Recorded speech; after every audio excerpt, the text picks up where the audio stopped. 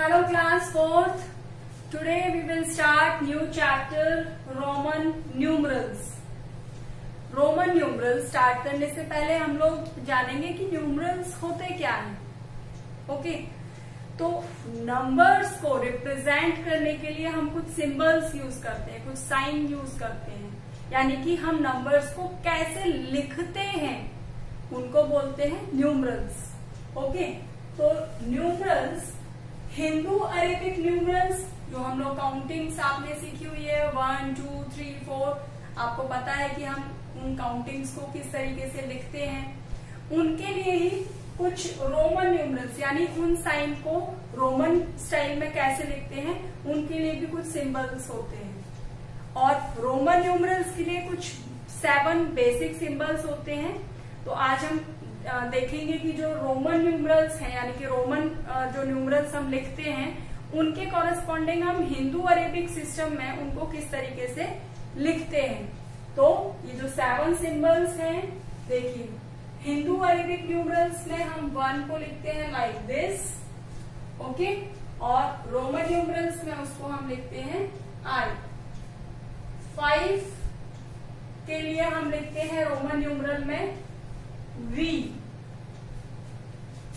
Ten के लिए हम यूज़ करते हैं एक्स फिफ्टी के लिए हम यूज़ करते हैं एल हंड्रेड के लिए हम यूज़ करते हैं सी फाइव हंड्रेड के लिए जो हम सिंबल यूज़ करते हैं दैट इज़ डी थाउज़ेंड के लिए हम यूज़ करते हैं एम ओके तो कोई भी बड़े से बड़ा रोमन न्यूमरल अगर आप लिखेंगे तो उसके लिए हम ये बेसिक सिंबल्स ही यूज़ करते हैं। जैसे कि आपको पता है कि हमारे हिंदू अरेबिक में टोटल जो डिजिट्स होती है वो कितनी होती है? टेन ज़ीरो जो डिजिट्स हैं डिजिट्स वो कौन कौन सी होती है? Zero one two three four five six seven eight nine तो हमारे जो बेसिक जो डिजिट्स होती है, जिनके लिए हम बड़े से बड़ा कोई भी नंबर अगर हमें फॉर्म करना है तो हम इन्हीं डिजिट्स को यूज़ करके हम कोई भी नंबर लिखते हैं।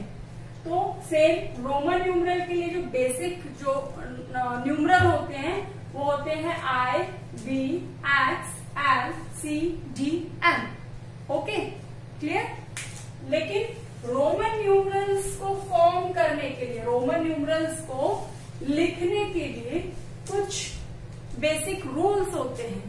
तो हम लोग इस क्लास में पढ़ेंगे फोर बेसिक रूल्स जिनसे हम ये रोमन न्यूमरल्स को फॉर्म करते हैं।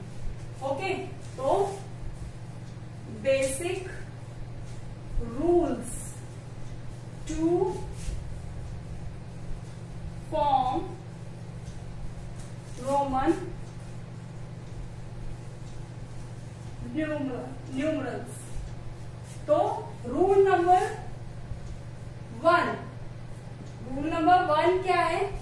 कि repetition of any number repetition of any numeral means addition.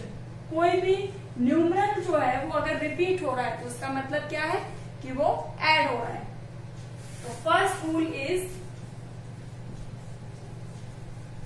repetition of numeral means addition example से देखें? यस yes, देखिए। हम रोमन न्यूमरल में वन वन के लिए यूज़ करते हैं।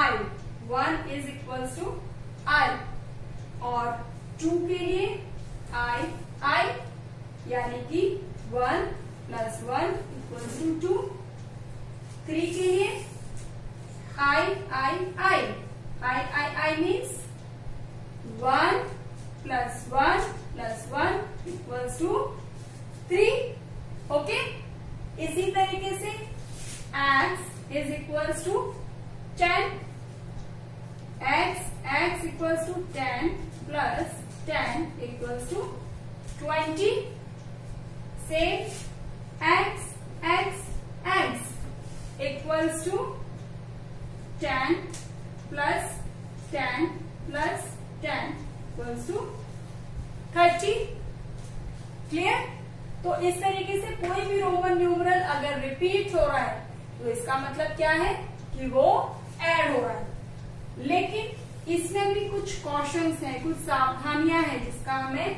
ध्यान देने की ज़रूरत है। वो क्या है? तो हम कॉशंस भी साथ ही साथ क्लियर करते हैं, क्या सावधानियाँ हमें रखनी है। तो कुछ रोमन न्यूमरल्स ऐसे हैं जो रिपीट होते हैं, लेकिन कुछ रोमन न्यूमरल्स ऐसे भी हैं जो रिपीट नहीं हो सकते। तो कौन कौन से न्यूमरल हैं जो रिपीट हो सकते हैं? Only I X C and M can be repeated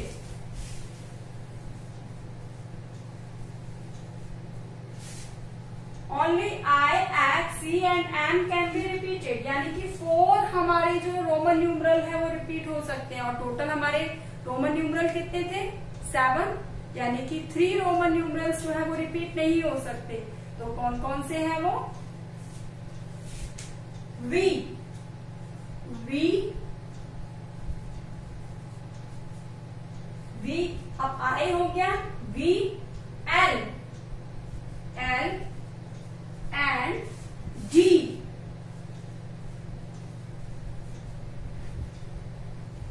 Cannot be.